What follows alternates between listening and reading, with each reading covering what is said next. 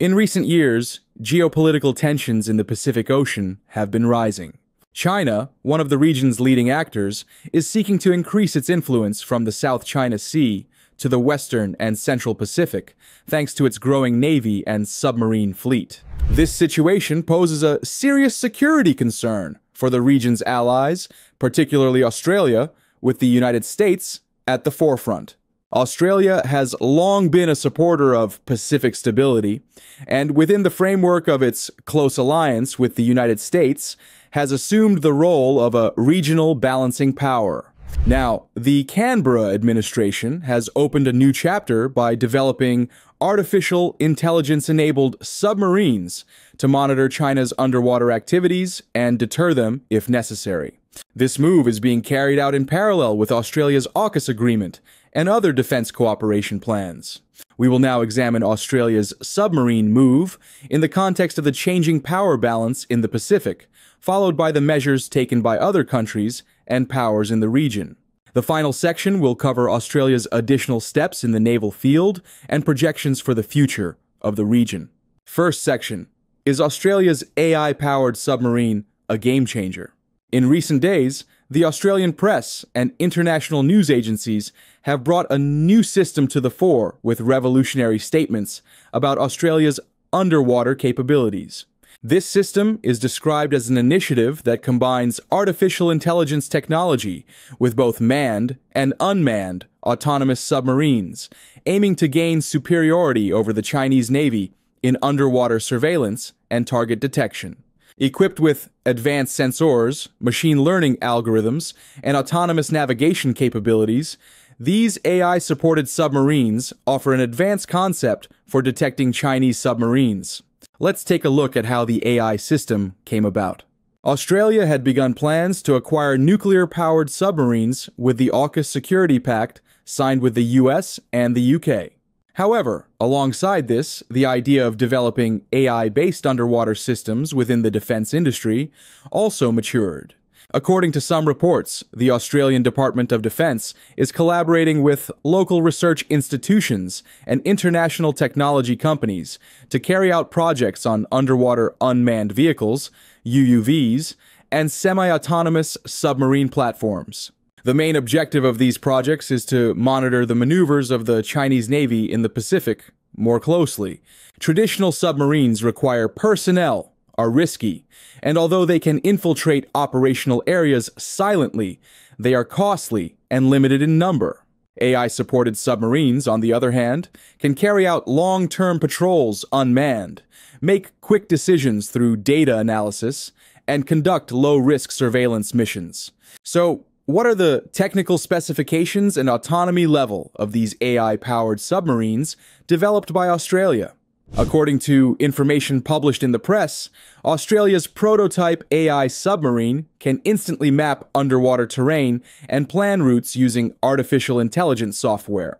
These submarines also contain sensors such as sonar, magnetic anomaly detectors, and hydrophone arrays. They have machine learning optimized data processing capabilities to detect acoustic signatures from Chinese nuclear submarines. The command and control infrastructure of these submarines is also quite robust. Australia's AI powered submarine can exchange data with human operators via satellite or underwater acoustic communication, but it can perform many tasks independently. It is claimed that the submarine can analyze and classify acoustic data up to 40 times faster than human operators.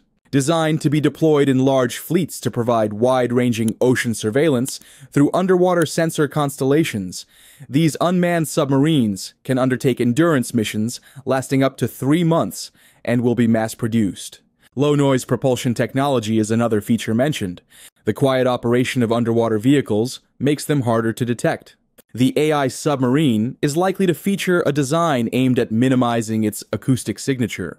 While the project's name is not explicitly mentioned in official statements, some sources refer to it as Sea Ghost or Blue Guardian. Prototype testing began in early 2025, with trials reportedly conducted off Australia's northern coast and around the Great Barrier Reef. The system was unveiled last weekend at the Royal Navy Base in Portsmouth, in front of Royal Navy Fleet Commander Vice Admiral Andrew Burns, officials, and industry representatives, but the exact details of the event have not yet been disclosed. Last year, Western Australia based Blue Ocean Marine Tech Systems partnered with European defense technology company Helsing to develop the SG-1 Fathom glider, which features acoustic sensors and an advanced software platform and artificial intelligence system known as Lura. Mike Deeks, managing director of Blue Ocean Group, and a former Royal Australian Navy officer, stated that one of the key factors in the design of the new platform was keeping the unit cost low to enable mass production and rapid deployment. Australian Helsing executive Rob Wilson claims that unmanned technology can improve the performance of existing traditional naval platforms by providing scale and durability at a fraction of the cost of traditional anti submarine warfare. Representatives from the Australian Royal Navy recently received a briefing on the full capabilities of the SG 1 Fathom and Lura systems. Meanwhile, the Australian Defence Force has been testing larger autonomous naval platforms in exercises off the coast for several years, but the manufacturers of the SG 1 Fathom hope that their technology will eventually be adopted by all three AUKUS partners. With all these efforts, Australia's AI powered underwater monsters are poised to make a big difference in the Pacific. Traditionally, Australia has relied on P 8A Poseidon patrol aircraft, surface ships, and nuclear powered submarines from its allies to detect the Chinese Navy. However, Chinese submarines are enhancing their ability to infiltrate Australian waters with increasingly advanced silent engines and advanced sonar countermeasures. AI submarines could provide Australia with an advantage in this underwater cat and mouse game. Their ability to process sensor data in real time and detect anomalies could enable faster reactions than human operators. Australia appears determined to prevent China from gaining dominance in the Pacific. AI powered submarines are the latest step toward this goal. AUKUS has made this possible. The AUKUS Agreement is a strategic pact that paves the way for Australia to acquire nuclear powered submarines. Australia has no immediate plans to acquire nuclear weapons, but nuclear powered submarines offer longer patrols, quieter operation, and greater deterrence. The US and the UK will provide Australia with technology transfer and training support. This could enable the Royal Australian Navy to transition from a regional power to a serious ocean power. AI based projects could also be integrated with these nuclear submarines. Of course, the Canberra government is not limiting itself to these AI enabled submarines in its efforts to contain Beijing's naval buildup.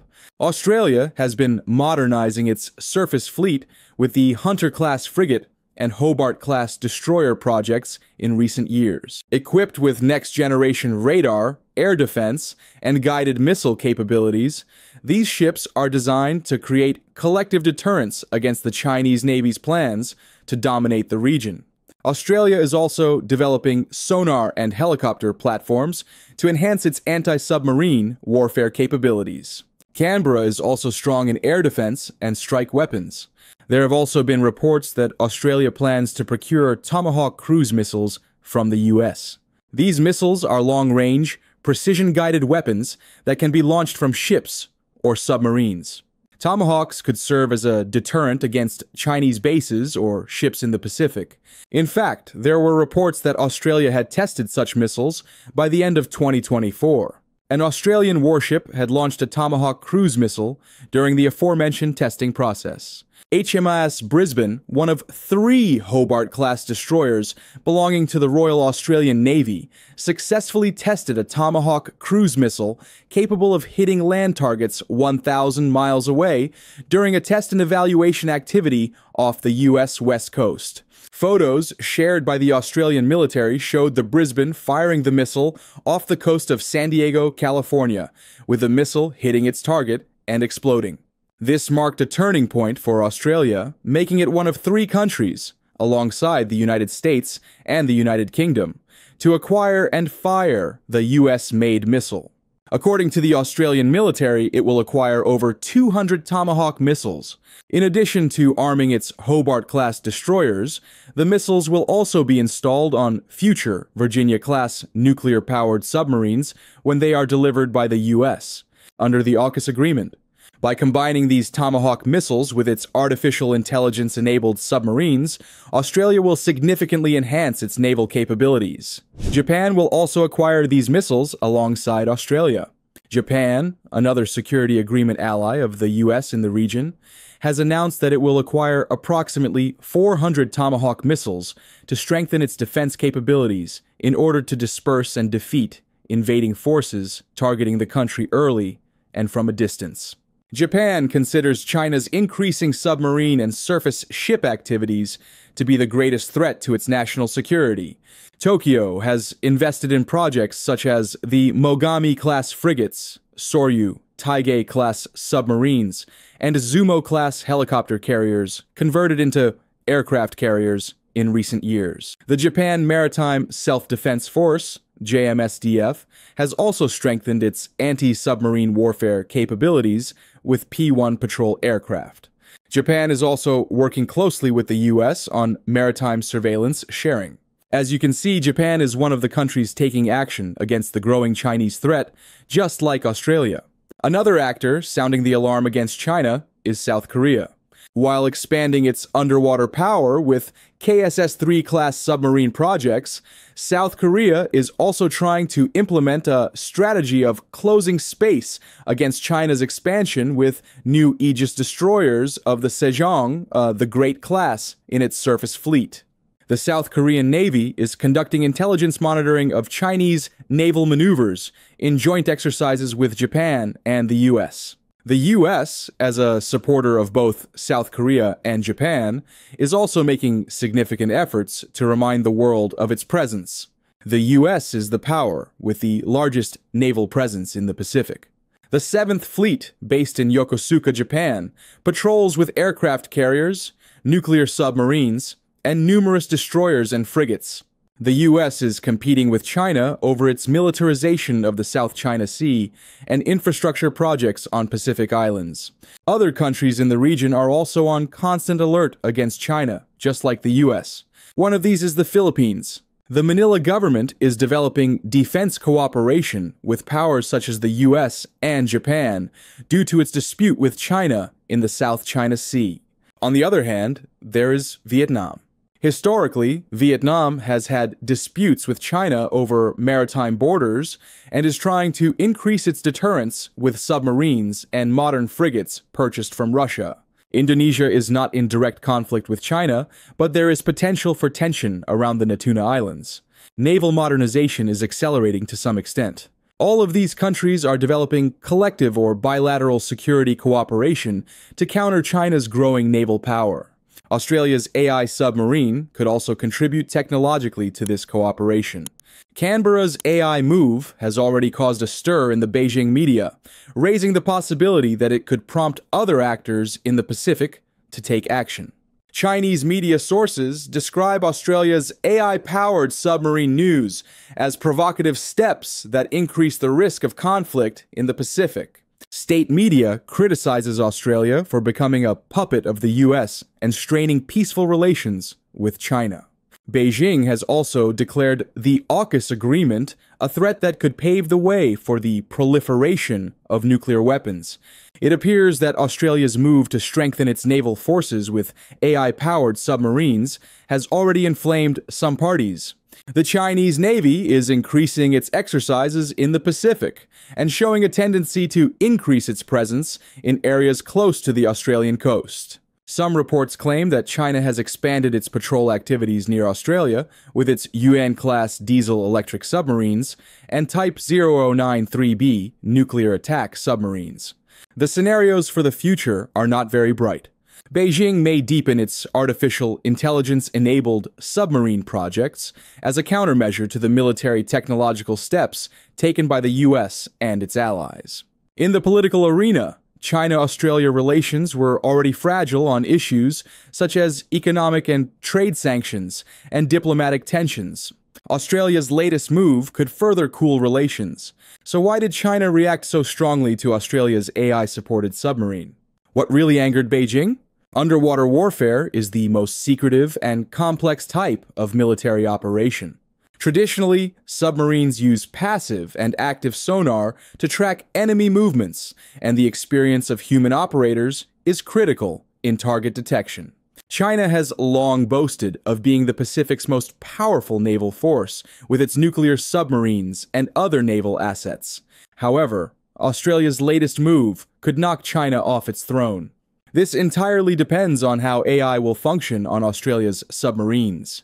AI compares real-time acoustic signatures with big data analysis, detects deviations from normal background noise much faster, performs real-time route optimization, and reduces the margin of error in enemy detection and evasion processes.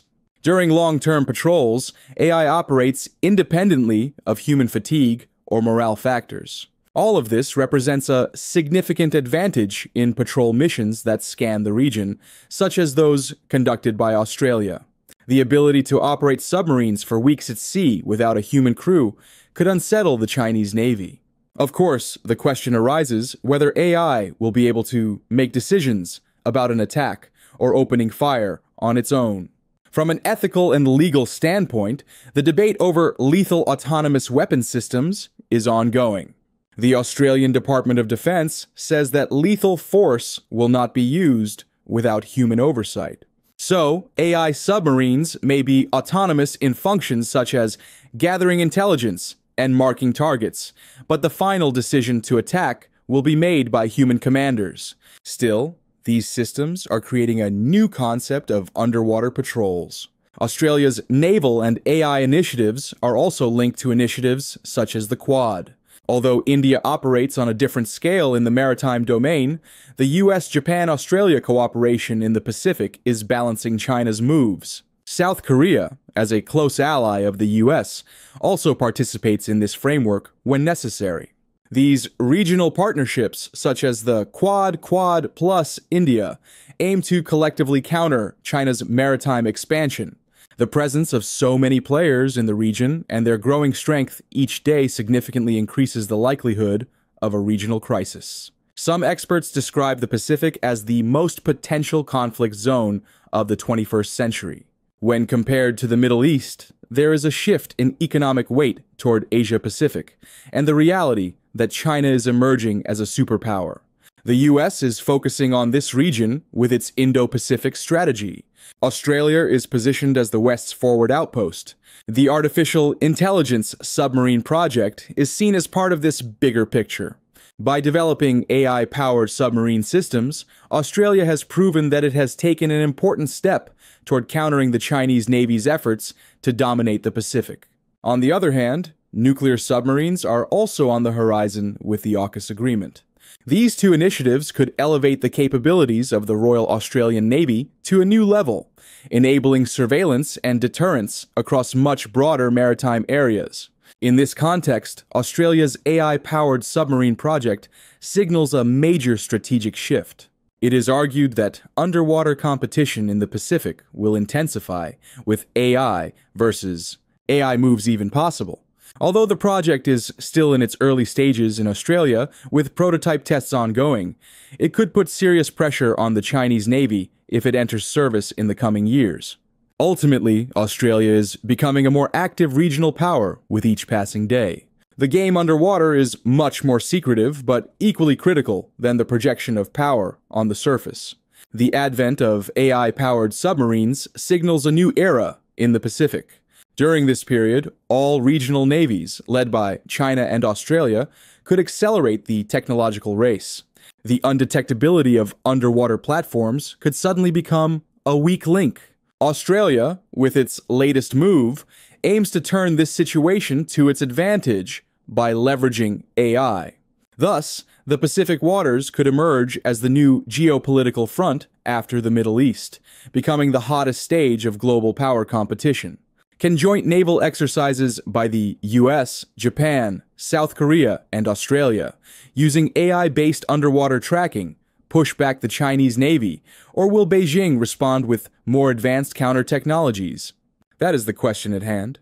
For Australia's move has already made headlines and claims that an AI supported submarine era is about to begin in the region are spreading.